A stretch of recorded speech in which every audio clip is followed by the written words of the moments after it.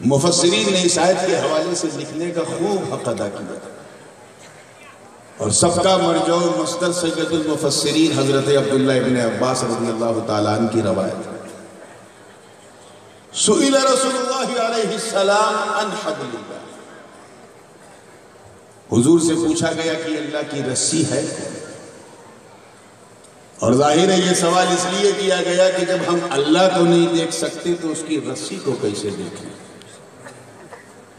اور جب رسی کو دیکھیں گے نہیں تو پکڑیں گے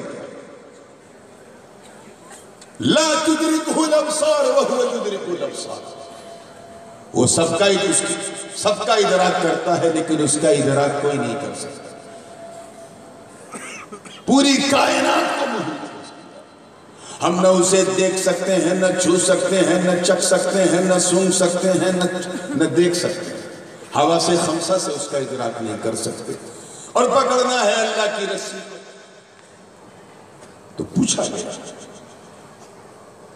مفسرین نے اس حوالے سے فرمایا کہ ایک مقام پہ حضور نے فرمایا کہ اللہ کی رسی اللہ کا کلام کتاب اللہ۔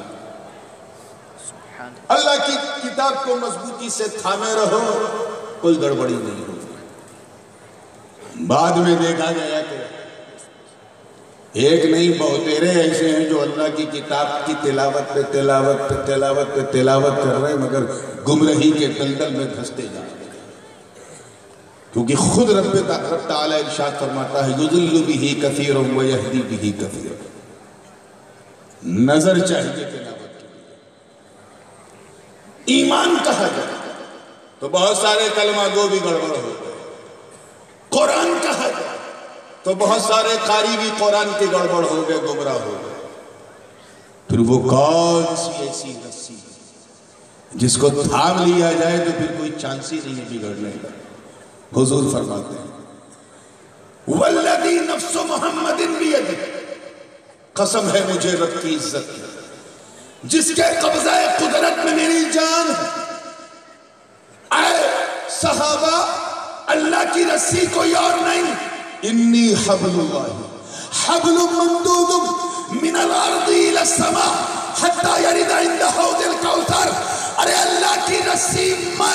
هو جو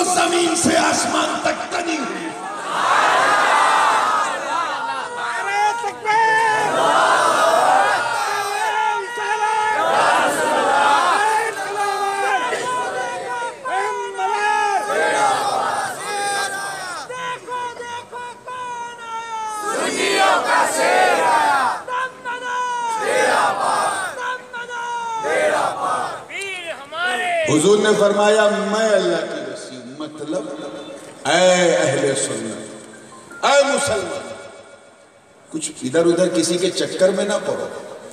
دامن پاک مصطفیٰ تھامنا مضبوطی سے تھامنا پاور کے ساتھ، طاقت کے ساتھ، شکتی کے ساتھ۔ ارے، پکڑ کے تو دیکھو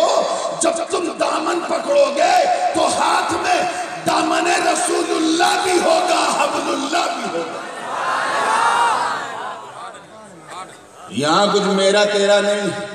جو نبی کا ہے وہ خدا کا ہے، جو خدا کا ہے وہ نبی کا ہے۔ جو نبی کا نہیں، وہ خدا کا نہیں۔ جو خدا کا نہیں، وہ نبی کا نہیں۔ نہ یہاں کچھ میرا ہے، نہ کچھ تیرا ہے۔ جو تیرا ہے، وہی میرا ہے۔ جو میرا ہے، وہی تیرا ہے۔ یہی تو فاسق نہ سمجھ سکے۔ مگر امام عاشق نے اس راز کو کلیئر کر دیا کہ یا رسول اللہ، میں تو مالک ہی کہوں گا کہ ہو مالک کے حبیب